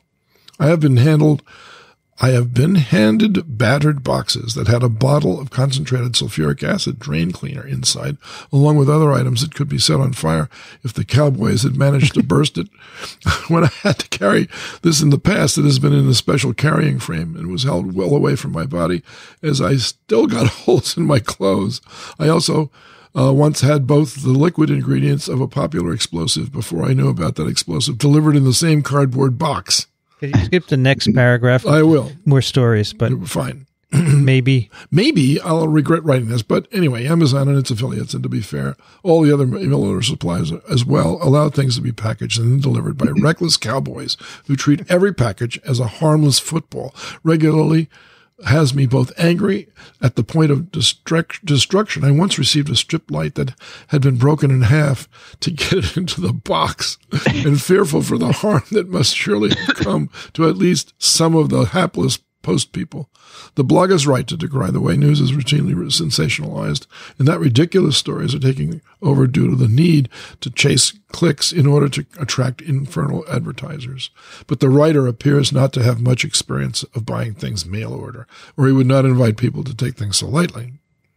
I have quite a collection of pictures of routinely bashed up particle parcels I have received, but can only get at the ones with the laundry power, so this device attached. On one one other thing, read those ads that take up whole screens so you can't get around them. There are various reader apps and add-ons that you can get just that just show you the text and the thumbnails of the articles and pictures. I've used readability for years, but it is not being maintained anymore, though I think it still works. On my BlackBerry, I could not seriously use the web without the readability app that was built in. Whenever pages take time to load one of those infernal log login screens, cookie requests or other ads take up the whole screen, I just press R to get the article that I'm trying to read, neatly reformatted to minimize screening down. It's totally brilliant. There are similar ones built into PC versions for Firefox. I expect there must be Apple versions as well. Another way to get around the page blocking ads or nags is to turn off JavaScript while you're on the offending page. This often gets around logins too, but don't tell anybody. All the best, Steve, in Luton, England, where it is warm, wet, and windy, but this is much appreciated compared to what the elements have been throwing at throwing the U.S.'s way lately. Thank you, Dickson. Ah, you're welcome. So this, I think we must have talked about something where someone made a bomb a long time ago from homemade materials. I, I think right? this might have been there was a little news dust up a little while ago about how Amazon's algorithms, if you ordered certain items, they would automatically suggest. Yeah, uh, yeah, people often buy these other items that, for making explosive. Exactly yeah, right. yeah, right. right. Yes. Okay, let's uh, do some picks. Alan, what do you have for us? I have um, a this is this is a project that I gather is going to continue for all of uh, 2018, and it's influenza one day at a time. So currently they're up to January 5th, and every day they're going to update. If you, it- it's got a little description at the top describing what they're doing, um, and you can you can click on these individual dates and get the update uh, so let's see, January 5th, 1918. Uh, the top news was the uh, coal famine. Um, and uh, a coal miner was hospitalized with influenza in a, rem- a remote town in Nevada. Um, and uh, goes on about the, the news of the day. Now, this is going to get a Oh. lot. It- What was that? it's it's cool because it mentions Jeannette Rankin. Um, yes. and uh, I there she has a foundation that provides scholarships for women. Uh, Right. There is a, a foundation named after her now, and so um, it's just cool that she made it into this news blurb. Yes. um, Is this Yeah, because so it's the hundredth anniversary? 100th anniversary of the 1918 flu. Mm. and so they're gonna they're gonna give you news from 1918 through this, and it is going to um, it is going to become dominated by U.S. entry into World War One hmm and the Great Influenza. Wow. Yeah, if you Cool. go back and you mouse over uh, January 1st, at the end of it, it says the outbreak would be reported one day at a time. In these Mhm. next 364 days, we'll provide this report. I like this this, is really cool, Alan. like this Yeah. headline here. Uh, So, um, Je- wow. Jessica Taff on Twitter forwarded this to me. She's an epidemiologist, and uh, she's uh, milder milder weather promised on January first, nineteen eighteen. And who would promise such weather? really? And would they come through? Cool. Rich Condit, what do you have? Uh, let's see. What do I have? Oh yeah, You have something good. I looked at it. Yeah, it's I got an elephant Elephants. for Christmas. You You got an elephant for Christmas. Really? Yeah. Yeah, my daughter in Boston and her family gave me an elephant. Oh, I see. Um, yes, of course. So uh, this is the my pick is the David Sheldrick Wildlife Trust, uh, which is uh, operates out of a, a park in Kenya, um, and uh, their specialty is uh, uh, rehabilitating orphaned uh, animals, in particular uh, elephants and rhinoceri. And to support their efforts, you can make a contribution to be a foster parent of an elephant or a rhinoceros. And uh, for some contribution, I don't know what it was, I uh, am now the foster parent of a young elephant named Moktau, and I've given his link there too, so that you can Mhm. uh, see what's what's happening with him. He's a cute little guy. Yeah. They're all they're all cute at that age. He was uh, found, he was uh, found orphaned apparently. Yeah. Yep, found Poachers. orphaned in a Poachers. place that's um, uh, not uh, really a uh, is an uh, a hostile environment relative to humans, uh, in conflict with humans, uh, and so he was uh, choppered out of there and uh, moved to uh, Tsavo West National Park, where this uh, foundation is, and they're taking care of him and rehabilitating him with a bunch of other uh, orphaned animals. And you can read all about it. Yep. And if uh, I'd like to visit this place, Go- yeah, you would. Go for it. Looks cool. I've seen a documentary on it, and it's quite wonderful. Elephants. so there you go. Elephants and whales are so cool. They are. Yeah, little twib bump for those guys. Nice. Yep. Buy yourself an elephant. Dickson, what you got? Well, I have something which I, I can give you.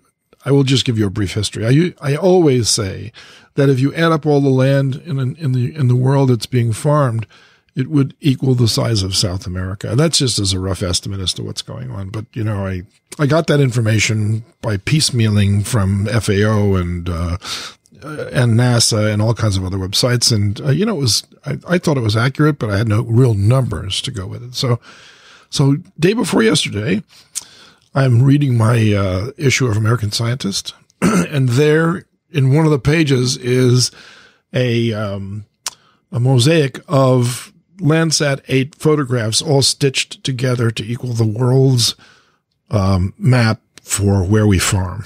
Okay, this is croplands now. These are not uh, grazing lands. These are just croplands, uh, the plants that you put into the ground and allow to grow back up and then cut down and then sell for produce, that sort of thing.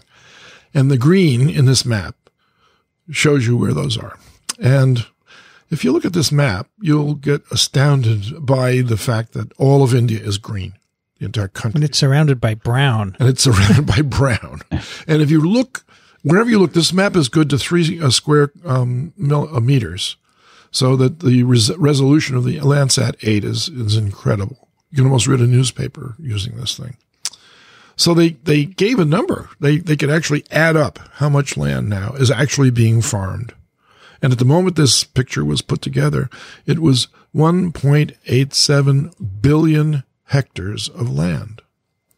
Now, you go to the CIA website and you look up how many square kilometers South America equals, and then you convert that to hectares.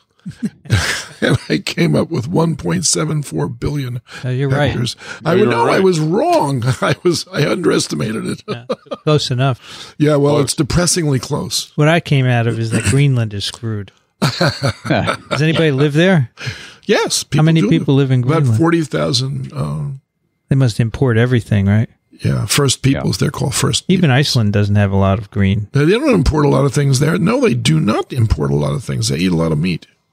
They they raise meat there. Yeah, Yeah. well, they, they they hunt and they fish. That's right. And and Denmark. So I see I see light green and dark green on You do. this. It's the light do. green that's the that's the cropland. Right? you have to actually Yeah. read the article to get the difference between those things, but uh, it depends on the crop, and it depends on how many times a year the crop is produced. So what's I'm, the, uh, what's the story with India? Are they just good at, at at growing stuff? Because why is there a sharp border between them and everybody else? well, you'd have to ask India that, wouldn't you? Okay. But Pakistan is thrown in there also. Yeah, it's Pakistan. Yeah. So that's not, and so is Bangladesh. So Bangladesh is over there as well. So that what it really means is that from Mm-hmm. For the majority of the time that India has been a country, it's been a rural country. There have been cities, of course, but most of the fruit is produced in the countryside. All of it is, in fact. I, I think this I- is also geological because the border, Yeah. it's not an you're exact right. border of India. It's, There's a it's desert India, there. Pakistan, Bangladesh, and then you've got the Himalayas. right. Yeah. Right. Right. And there's, And there's Tibet. obviously there's nothing growing there. Nope. And then you've got high desert um, into the interior portion of China. That's right. So I think that's the problem. And to the west, you've got the the deserts. You're getting into the deserts of the, The Middle Gobi, East. that's right. That's right. Um, In fact, So- the, the deserts might equal the larger size than South America if you had that. up. Right. But it's it's quite telling that, that wherever you, you can look now, and there's no way to hide. That's the point. You can't hide anymore. And one of Trump's initiatives, of course, is to decommission the uh, Earth satellites. Why? What do you think? So you can see what's. Don't want to know the truth. That's right. Right. That's exactly why. Horrible. Yeah. it is. I want to go back to on a tangent. The most of the food in Iceland is imported, so Yes, it it's is. really expensive. This is true. Mm-hmm. This is Yeah. very true. Iceland. Except for the fish. Yes. You're right. So these places are ripe for places for, for the vertical farm initiatives. I would say, Go but I, I didn't want to say that. I just wanted to say that for years I was saying, you know, You just fact checked the, yourself. Big now. the sign. I Yeah. just fact checked myself. Right? I'm uh, I'm surprised at how apparently sparsely uh, f- uh, farmed the U.S. is. Correct. Yeah. This is well. That doesn't include grazing land. Remember, this does not include Yeah. grazing Yeah. land. Fine. So if you added that together, Rich, you'd have probably three quarters of the United States. well, but a lot of our a lot of our arable land that used to be farmland has also been abandoned. And that's true as well. So I, I live in Western Massachusetts. It Yeah, used no, to you're be right. all it used to be all farms, and now it's all third growth hardwood forest. That's right. You know, the part of California is that's farmed is not huge compared to the No. rest of the state. But look at where it is. And Right they down had- the center. They had a six-year drought. and that's all six-year irrigated, right? Well, Yeah. yes and no if you have the water. Well, don't they steal it from Colorado? Yes. Colorado, they, they had a rough time with that area. Let's just put it that way. By the way, that's the one of the hot spots for the outbreak of West Nile virus every year also. hmm Kathy, what do you have? Well, first of all, I want to go back to the beginning when we were talking about it being freezing in all 50 states. It took me a long time because you can't really put in Mauna Kea into weather.com and get anything meaningful.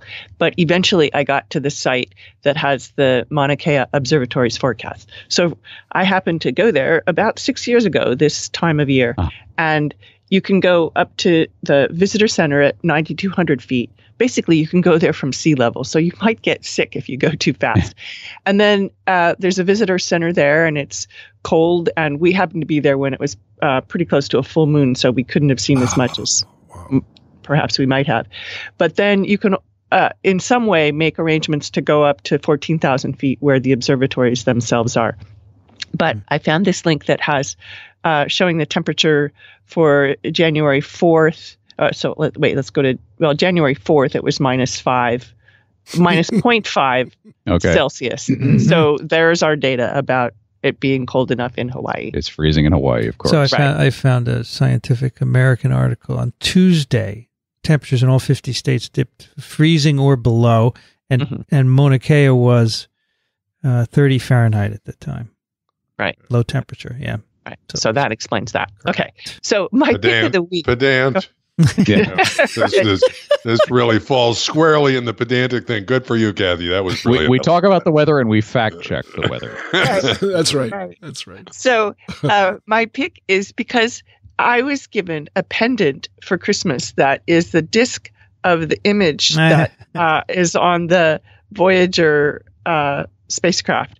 Right. And so, in looking up stuff about that, I found that uh, as of uh, November, you can buy the NASA audio record that we sent out Mm. uh, to aliens. It's a two CD set, and they give the list of all the things that are on it. and it also comes with a 96 page hardcover book containing the backstory of the record and the Voyager mission. And it's a reason- pretty reasonable sum of $50, they say, with shipping in time for Christmas. But maybe now you need to get it in time for Valentine's Day or something like that. But It does not come go. stamped on a solid gold disc, though, right? no, no.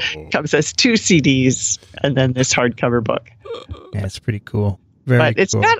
I, I had never or really appreciated this list of things. It's quite Yeah. diverse from things all around the world. Very interesting. Somebody once summarized this uh, this disc of information as basically expressing, "We live here. We're made of meat." Come get us. exactly. Wonderful. Exactly. Cool. So if you were to send that today, what what difference would you make in the disc? Oh, I don't you- think we should have sent this out in the first place. you don't think we Why should not? send What, our what- human? what are you worried I, about? I, if if there's life out there, I'd rather be us finding it than it finding us. Yeah. True. Uh, They'll show up on our doorstep. I mean, big look at- bombs, you know. Look at human history. The people who get found do not do well. Hmm. hmm Interesting. All right. Well, I, I think no one's going to find this. I'm Probably not, not. I'm not worried. Do you remember a Twilight Zone episode a long time ago? Uh, I think it was a Twilight episode uh, episode where uh, aliens came and uh, gave everything to, To serve people. man? and Gave, to Yeah, serve to man. serve that's man. it. Yes. Right. Yeah. Yeah. and they had this Bible with classic. them. Yes. Somebody figured out it was a cookbook. Yeah. hmm That's They right. were there to serve man. Ah, that's right. That's right. That's right. Come up. Okay, my pick is a book by Daniel Ellsberg. Anybody remember that name? Oh yeah. The Pentagon Papers. It's playing in your local theater now. What Yeah, is I'm gonna go Pentagon- see Post. Yeah. It's called the Post. The Post. Post. The Post. Yeah, I'd like to see that. Yeah, Looks by like- a second-rate actress, Meryl Streep. Oh, of and course. Tom Hanks. Of course. Uh, this is the Doomsday Machine Confessions of a Nuclear War Planner. and this is just amazing. So, as you know, Daniel Ellsberg went and copied papers that revealed what the U.S. was doing in Vietnam, and everyone got all up in arms about that. No pun intended. Uh, but apparently, he also faxed a lot of other papers about our nuclear capabilities, and he's lost, apparently lost them. But now he remembers enough to write a book about it. And this is all about our nuclear program over the years, and it's you know it's got a lot of science in it, the science of nuclear war. And here's the thing, you know, we think uh, everything is in good control. You know, we've got a huge l- nuclear arsenal. Even now, we've- after we've destroyed many, we still have a large arsenal. We, we used to have B 52s flying You mean around. our button is bigger than his? and, and basically, you know, he says if you think Trump is the only one to threaten people with nuclear war, it's not true. Many other people have. But also to realize that what the U.S. has done with uh, our nuclear capability is to have plans to wipe out entire countries in case of uh, of, of war or, or missiles coming at us. So all this is here. It's quite interesting. You know, he talks about the extent of damage that would be done uh, if things got out of hand, and you end up coming away with the. You're very. It's very scary to know that uh, we have this capability and that other people have as well.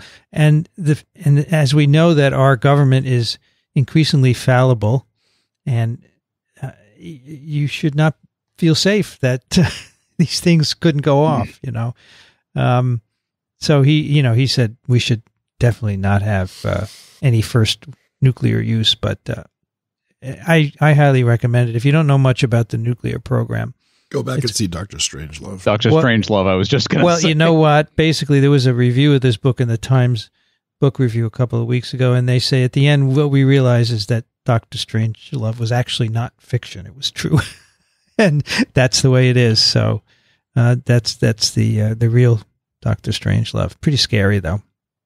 And it, Wow, it's uh, shortlisted for the 2018 Andrew Carnegie Medal really? for excellence in nonfiction, according to the Amazon site. Yeah. All right, we had a, a pick from Mark before, and uh, two picks from Mark, and we have one from Steve who writes. He gives a link to a paper, a brilliant and highly important and relevant paper from Karl Popper in 1983 in the British Medical Journal that shows why the PACE and SMILE researchers won't admit they are wrong. It's because they are medical doctors. So, the PACE and SMILE trials for chr- treating chronic fatigue, myalgic encephalomyelitis. Hmm. This is an important point for those considering work produced by the new trend towards MD PhDs. A pure scientist can afford to be wrong and may welcome a negative finding as much as a positive, but a medical doctor is expected to be right and can get into serious trouble if he's wrong. This explains everything.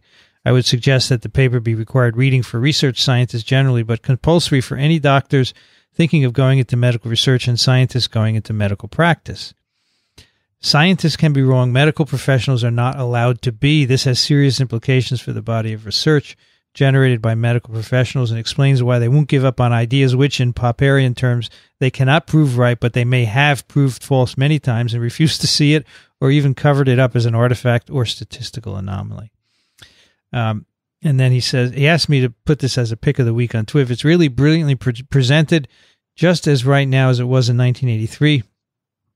And indeed, as Popper points out, it was as the turn of the 19th century when Florence Nightingale brought up the same shortcomings of the profession derived from its origin as a licensed guild, as I've argued myself. So he, he sent th this email to Twiv and he also copied it to uh, Dave Tuller and Julie Rehmeyer. Julie is a uh, writer who's, who's written a book on chronic fatigue syndrome and her experience with it. And she replied, I think that's an excellent point, although I also think the Popperian view of the scientific process doesn't align so well with the actual practice of science. Scientists get pretty attached to their own theories too. it's good. So check that out. It's I, I do believe it's uh, open access. This 1980, 1983. The critical attitude in medicine, the need for a new ethics. All right, that is TWIV 475 for 2018 microbe.tv slash twiv apple podcasts. If each of you sent us a dollar a month we would be eternally grateful but do what you can. microbe.tv slash contribute. And you can send questions and comments to twiv at microbe.tv kathy spindler is at the university of michigan in ann arbor michigan. Thank you kathy. Thanks. I forgot to say that the elevations of those two centers on Mauna Kea are at 2,800 meters and 4,200 meters. I'd done the conversion and just forgot to say it. So I wanted to add that. Anyway, thanks, Vincent, for putting together TWIV for us, getting us papers to read, doing all the uploading of the shows and creating the website and everything. We couldn't do it without you, and it's really much appreciated. oh, my pleasure it's a labor of love dickson despommier can be found at parasiteswithoutborders.com. Thank you, Dickson. Thank you, Vincent, for your uh, continued vigilance in the virological, microbiological, parasitological, and evolutionary and immunological fields. I mean, you've You're you've welcome. covered the waterfront. I love it. I know you do. I'm having a good time. I see you every day, and I can see it on your face when you time. walk in with this big smile on your face. Just- Sometimes, because it's not my job, I guess. right? Uh, Rich No. Condit is an emeritus. Thank you, Dickson. You're welcome. Is an emeritus professor at the University of Florida in Gainesville, currently in Austin, Texas. Thank you, Rich. Sure enough, always a good time, and my thanks as well. Uh, and happy birthday. Thank you. Alan Dove is at turbidplaque.com. You can find him on Twitter as Alan Dove. Thank you, Alan. And thank you. And I'll reiterate the thanks from the other folks. And what Kathy said is absolutely true. We could not do this without you. So uh, stick around for other 65 years. Uh, it's always a pleasure. Try. We'll try. Well, I'll go away for a year and see what happens. Ah, Just kidding. I'm Vincent Racaniello. You can find me at virology.ws. I'd like to thank the American Society for Microbiology for their support of TWIV and Ronald Jenkins for the music at the start. RonaldJenkins.com. You've been listening to This Week in Virology. Thanks for joining us. We'll be back next week. Another TWIV is viral.